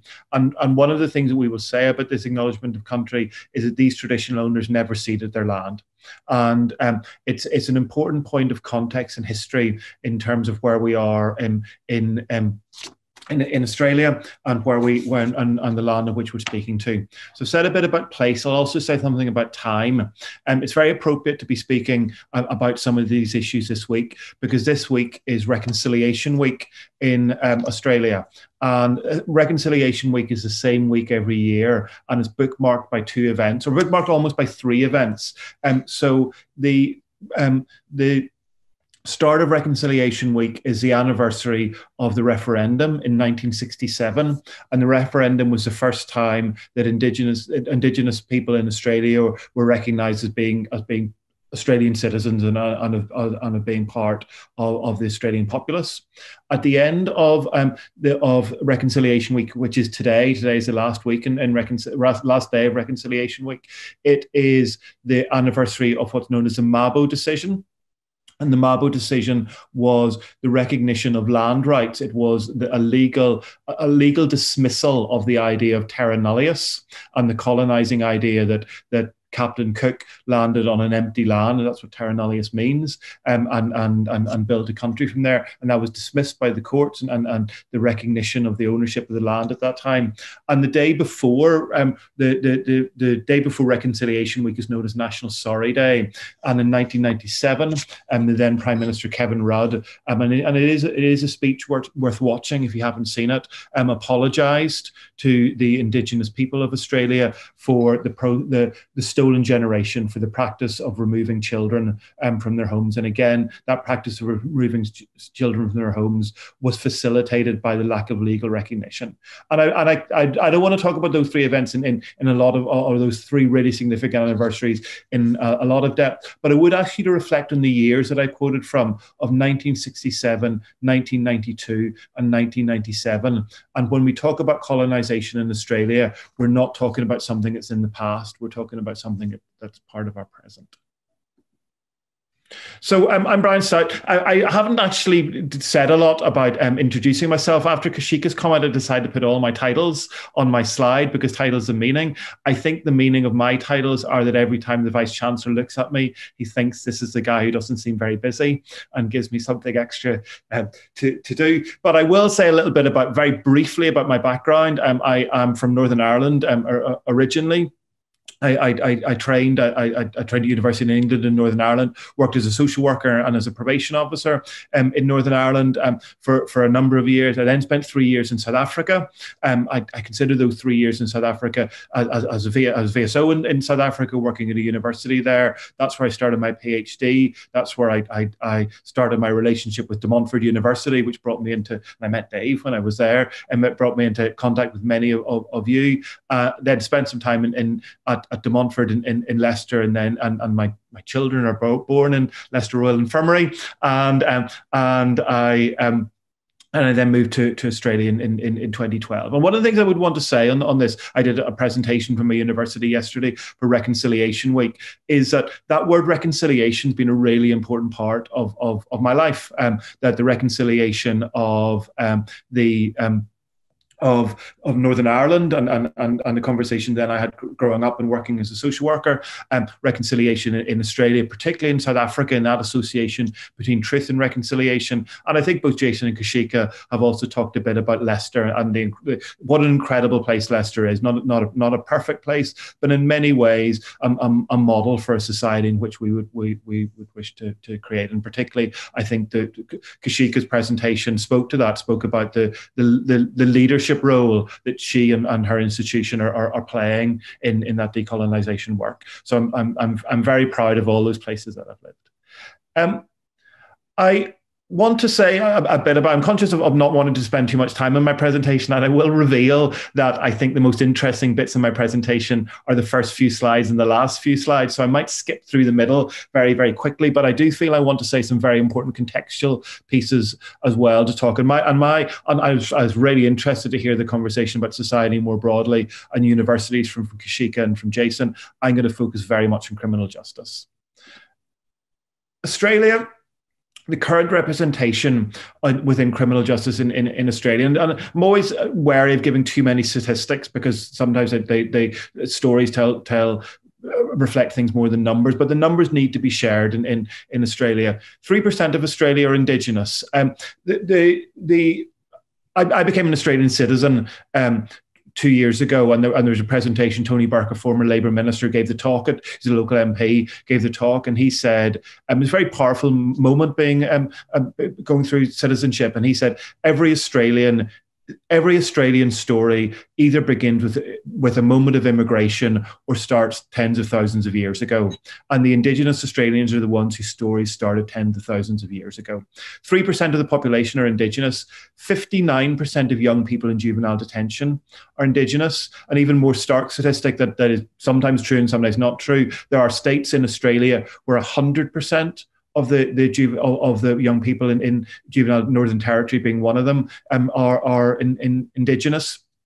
Indigenous children are 26 times more likely to be in detention than non-Indigenous children the age of criminal responsibility in Australia is 10. Now there are a couple of states there have been there have been frustrated attempts to try and change this, and there are a couple of states, I think ACT most recently, that have gone their own way and raised that. But across Australia, including in New South Wales, where I am now, it, it it's um, it's 10. The Indigenous rate of incarceration is 2,253 per 100,000 people, with 146 per 100,000 people for the non Indigenous population. The um, Indigenous Australians are the most incarcerated people in the world. There, there's a number of things we could say about this, but it's right. And I've, I've talked about a few minutes ago about significant um, the significant anniversaries. One of the, the, significant moments in, in, in history um, about um, in, in terms of the treatment of Indigenous Australians is the Royal Commission into Aboriginal um, Deaths in Custody. The 30th anniversary was this this year. Um, over 470 Indigenous people had died in custody since that report, since the government sent a, a, a royal commission there. The the the um, the rec- some of the rec- many of the recommendations were accepted, but the main the report was very clear. The main reason for high death rate is high incarceration rate. That is the number one reason that actually if you look at the, the, the death rate of indigenous prisoners compared to non-indigenous prisoners it's not that different. The difference is the incarceration rate. The difference is the number of people um, who are there. It is different but not the same. The rate of incarceration has doubled in those 30 years from 14% to 29% and the least implemented so when the review was carried out this year and, and said whether recommendation recommendations were implemented, not implemented, or partly implemented. The worst scores were those that related to alternatives to incarceration. So this is a terrible problem, and it's a terrible problem. It's a terrible problem that's getting worse, and it's a terrible problem where the solutions have been identified. And again, for those of you, and I know many of you are scholars of, of, of UK. Um, criminal justice. I think we can all identify moments, reports, and recommendations in UK criminal justice where the answers were there, the answers were clear, but were, were never followed. This is a good example of that. I want to say a bit about criminology in in in in, in um, in Australia. And these are the slides I really wanted to, to flick through because some of these, because one of the things I think I'm in, eh, that's interesting for me in coming here is the response of criminology, criminal justice, the academy to what's going on. And I think some of what we see in um, Australia is recognizable. So there's a very strong, in, in response to, to what's going on, there's very strong administrative criminology. And I would say some of the administrative criminal, or a lot of the administrative criminology is very good. So there's a government investment in crime research and gathering of data. Some of that is federal. A lot of it is, is at state level. So BOCSAR in New South Wales it will produce reports on, will produce prison data, will produce, and some of the data, some of the what I quoted from before, when you you quote varying um, incarceration rates, that that relies on, on the data. It, it's publicly accessible, often um, receives widespread um, media attention. So administrative criminologists will sometimes get some some criticism, and and and sometimes it's seen as a theoretical or a critical. But it is a good way to get in the media, and they do produce a lot, and, and they do produce a lot of data that that others rely on. Um, critical criminology in Australia, I think some people would say critical criminology is just criminology. I'm pretty sympathetic to that that that position. That's really what criminology is. If you walked into our library at Western Sydney University, if you picked up one of the reading lists uh, from we we have a large number of criminology students, picked a few key texts, what went into followed the code and went to the right corridor in the library, picked up three or four books at random, you're going to recognize them they, they are, it's a UK tradition, it's a US tradition. It's not solely that way. Um, you will not see many Malaysian scholars um, written there. Um, and I know you're saying there's not much criminology in Malaysia. I think that's probably true in other disciplines as well. I think would very clearly sit within uh, um, Anglo tradition criminology within Australia. Strong student numbers, high number of courses throughout the country, qualitative and qualitative strands. And I'm not being critical of, of, of critical criminology. A lot of, uh, there's a lot of excellent work and a lot of it focuses focuses very clearly on the work that, that, that on, on the, the issues that, that, that, that I've talked about, about overrepresentation, about police behavior, about, about um, prisons. And I would say, not going to talk an awful lot about Black Lives Matter. I think Black Lives Matter had a big, big impact in Australia, but speaking very, very broad terms, some of the concerns about the police, some of the concerns are very much focused on the police in America. I think very much focuses on on, on prisons in, in Australia, not not you know, and, and not to, to take the police out of that. There is an, an increasing interest in Southern criminology, and you, some of you will have seen there's books, edited collections, British Journal of Criminology deals with Southern criminology, and this has proven to be quite a an interesting idea and quite a controversial idea, and and I, I, think speaks to some of what we've talked about before about um, different, looking at different scholars, looking at different focuses, looking at different locuses of, of, of interest um, of criminology, and the aim of um, of bringing the periphery into the centre, questioning the Western Northern emphasis in criminology. But it does raise the question um, that sounds like a facetious question: is where is Australia? Is Australia in the south, or is Australia a northern country that happens to be on the, the on, on underneath the, the, the, line that we call the, the equator. And by bringing Australian, and I think you could possibly say large aspects of South African criminology than all of South African criminology into, into a southern criminology, raises as many questions as, as, as, as, it answers because are you just looking at some of the same traditions ideas assumptions that, that are um, are coming there? So it's a fairly new set of ideas of, of uh, uh and perspectives. It opens some interesting debates. It's not clear and there's a, a degree of skepticism um, about whether we'll meet what's needed and, and, and meet the demands of what we talked about in the earlier contextual piece I'm now back to the bits that I think are more interesting. Um, decolonization.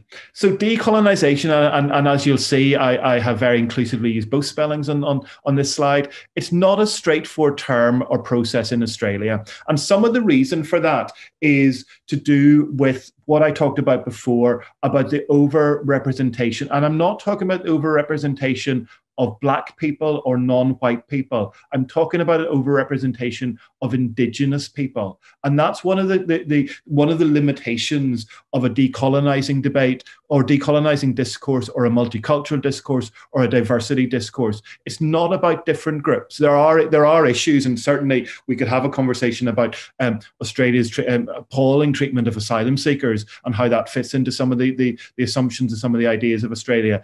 But there is a conversation to be had about Indigenous people that has to be about Indigenous Australians. So, speaking about putting this debate within a broader decolonisation agenda, and I think there are ways that that's helpful, and certainly my understanding, and, uh, and, and, certainly I, I, hear what Kaushika says, and, and think that I'd, I'd, love some of the leaders in our university to hear uh, hear, hear that because some of some of the people who are working on some of those very similar ideas, I think could could learn from that, but it's not the same and the uh, many people prefer to use the language of indigenous people uh, of indigenization because it centers indigenous people and centers a positive process it's not a d or or a or or a, or a, a removal. It's, it's it's an addition, and it's recognizing the primacy both in terms of importance and of time.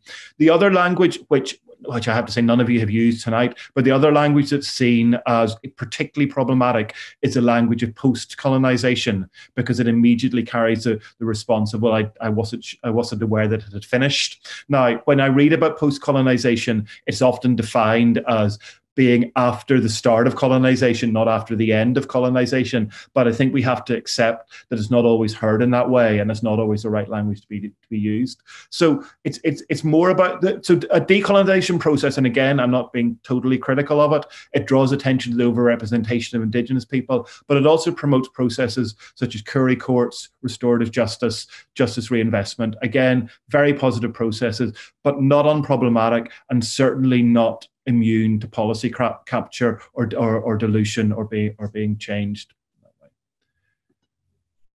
So, um, what is often preferred as as or or, or starting to be no, be preferred by some indig, indigenous voices and and and when I say indigenous voices and indigenous criminologists, there is uh, we we have um, there's there's a an indigenous woman who works in, in the criminology department in, in, in our school who I think is arguably the only Indigenous criminologist um, with, within Australia. There, there are people who work in Australia, who work in criminology in Australia, perhaps based in, who are Indigenous, who are based in law departments or psychology departments or based elsewhere. Whether she's the only one or not, there's not very many.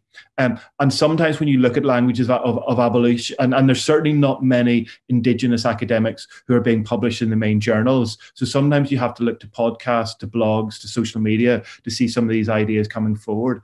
I would want to be really clear about this. Abolitionism is not a metaphor.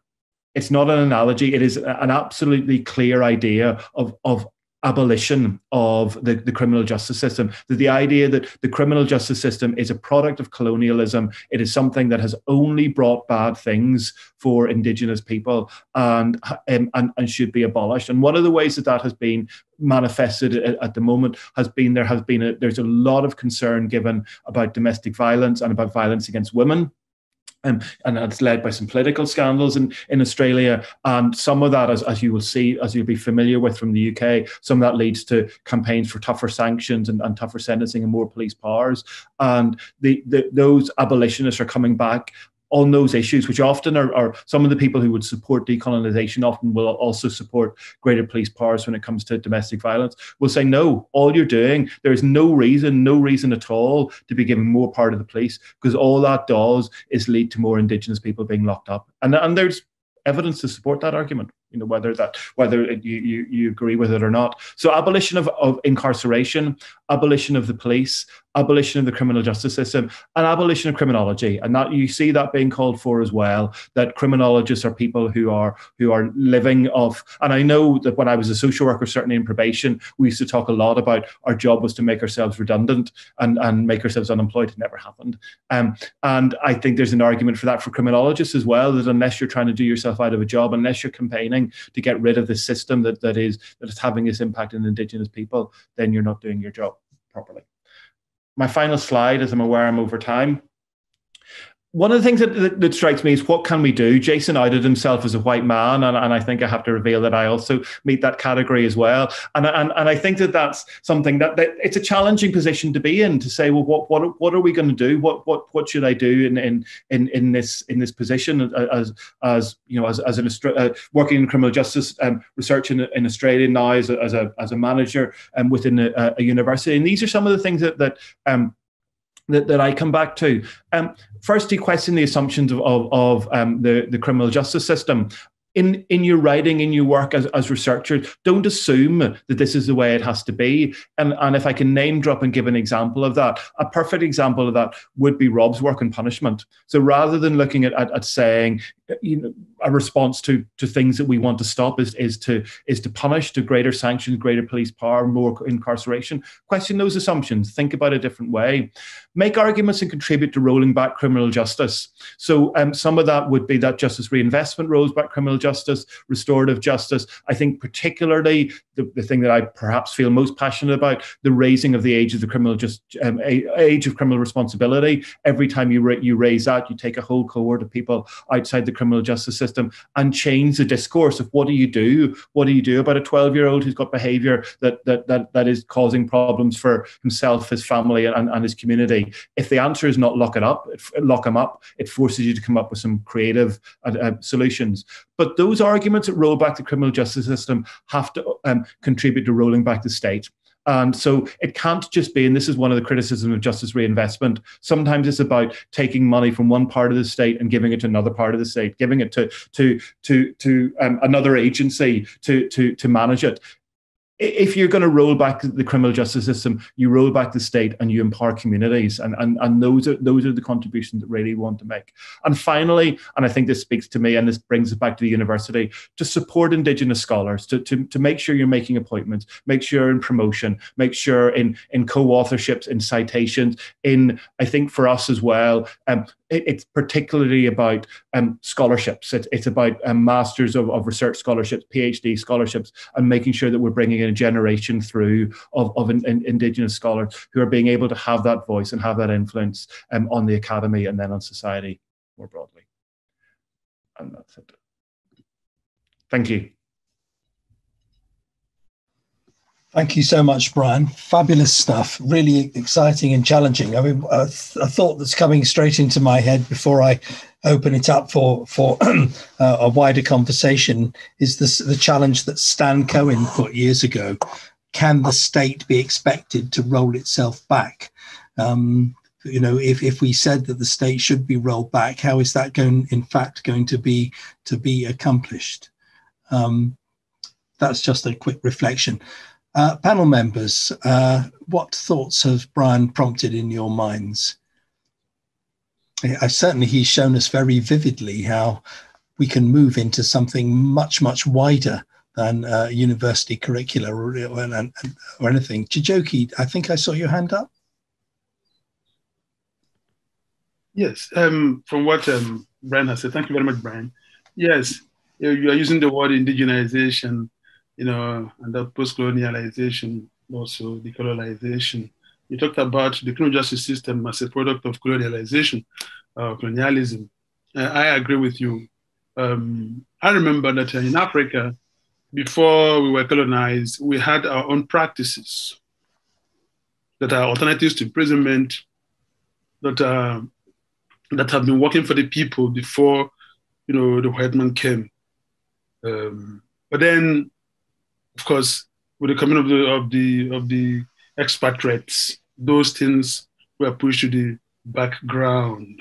Now, how can we um, decolonize the CJS, especially here in the West, uh, to include, you know, other diversities and apart from employment, which you know people talk about, employ the minorities to give them a say in the criminal justice system, will that be enough? My my direct question is, can we decolonize legislation to accommodate people from other cultures who have made here their home?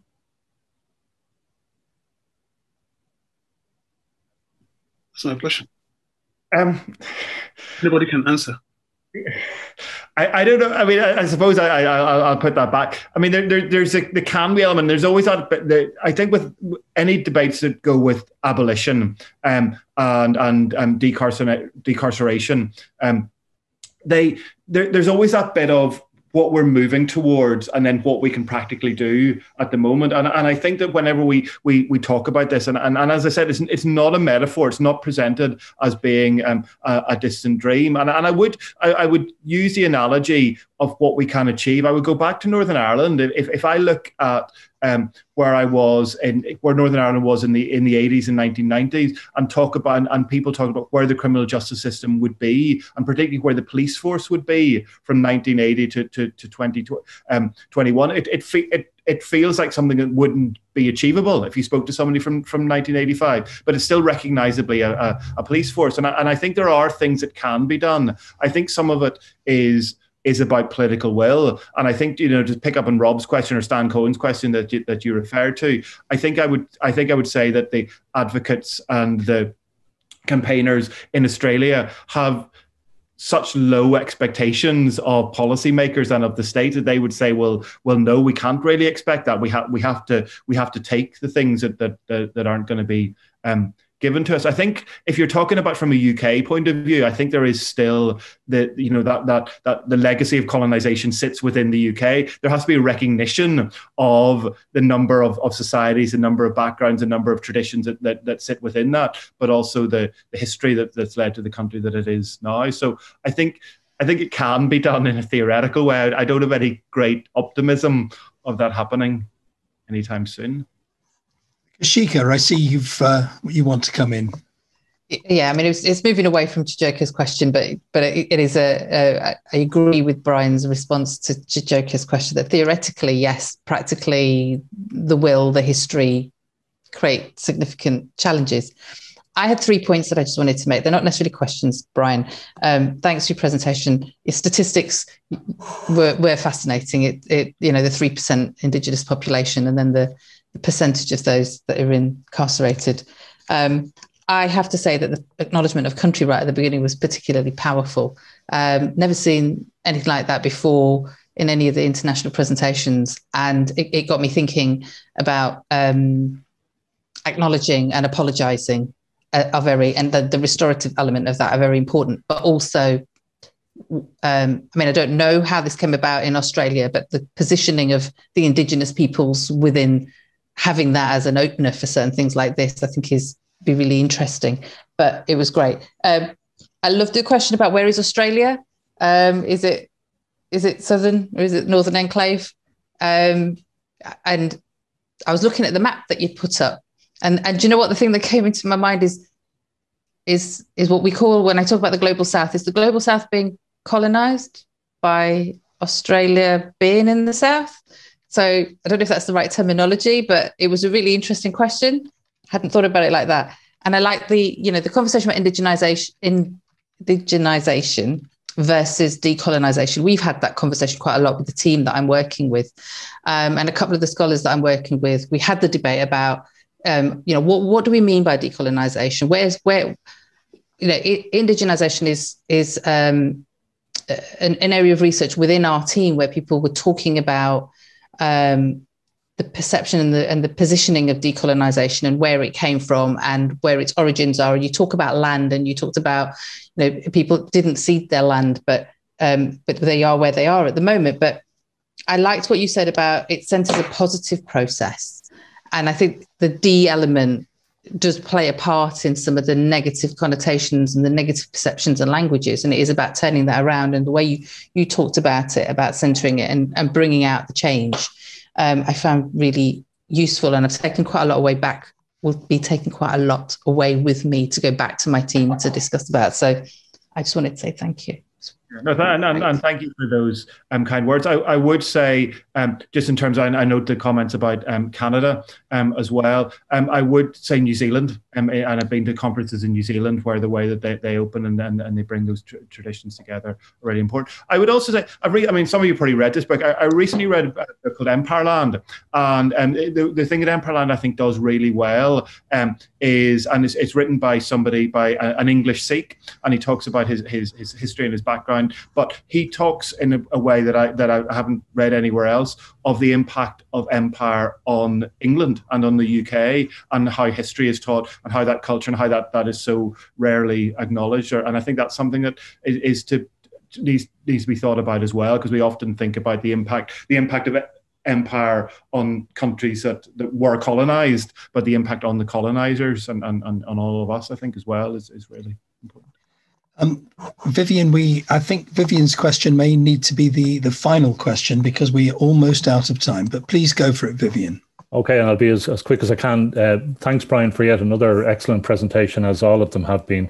Just a couple of, I'll shorten the, the thoughts. Uh, I, I, personally, I found your points about abolitionism uh, jarring in the sense that, as a former civil servant and bureaucrat and whatnot, I find uh, talk of abolitionism very threatening, um, or whatever. I really did like your your points at the end uh, in in relation to what can we do, because again, I, I like to hear in these type of scenarios. Well, you know, this is all very interesting, but what what can we actually do? And Dave Ward, just to link it back, mentioned to what extent sometimes does law need to change? And I was at another, I participated in another we- uh, webinar earlier on this year in relation to, um, it, it, was called Righting a Wrong, and it was initiated out of Nigeria. And the uh, proposed repeal of vagrancy laws in, in, in, in various countries, which uh, disproportionately and overwhelmingly target the poor and the, and the impact that that has uh, has had for for for for many many years in in a whole variety of uh, of countries. And really that spoke to your question as well about questioning the assumptions of the criminal justice system.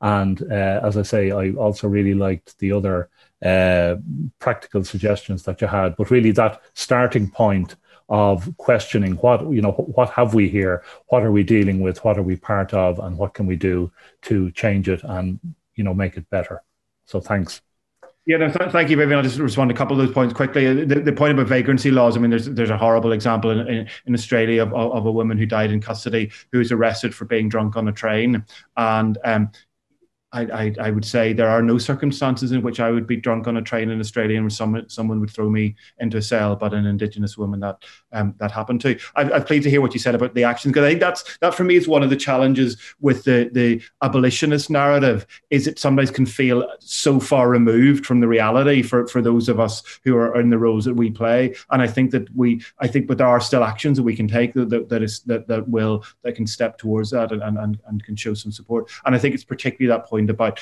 not not assuming that the way things are, the way things yeah. ought to be. Definitely. Okay, uh, we do need to draw this to a close. Um, uh, we've had a very good point again from James on the floor. And James, I'm going to put this as a comment rather than a question because we haven't got time to do justice to it. But James has reminded us of the ways in which deconstruction uh, will be perhaps undermined by the fact that criminal justice now is a globalized industry. As Nils Christie used to say, with the more we privatize, the more we introduce market incentives, which will not be at all um, keen on the idea that we abolish the markets that they're trying to set up. Um, it's time to stop. And I just want to say thank you, warm thanks to everyone who's contributed. I think it's fabulous. And one of the things I'm most proud of is that we have accomplished the kind of knowledge exchange that we were talking about. So Brian has acknowledged Kaushika's valuable points and said he wants to take them back. Kaushika, in return, has said how much she's learned from from Jason and from Brian, and how much that can be brought back uh, to inform uh, conversations uh, at, at, De Montfort University. So this idea that we learn from each other and nobody seeks to dominate everybody, anybody else, I think has been amply modelled by the courteous and receptive way in which we've had this conversation today. Um, I'm really delighted that this is recorded and this will be available um, on YouTube and on the INCJ website. Uh, so that's something uh, to, to, look forward to because so much there is, would repay further study. Um, and I think the last thing I need to do is just to remind people uh, that the second seminar uh, will be taking place on uh, two weeks today, on Thursday, the what is it, the 24th of June at two o'clock British time. Um, and of course that immediately disenfranchises Jason um, and uh, and Brian, who will be doing other things when it's uh, uh, 1400 hours BST. Um, big thanks again to everybody, and thank you to our audience for attending and for the questions that you brought to us as well. So much more to discuss. Thanks again. Time to stop. Bye bye. You have been listening to the INCJ podcast, Conversations about International Criminal Justice. To find out more, go to our website at criminaljusticenetwork.net or follow us on Twitter at INTCJ Network.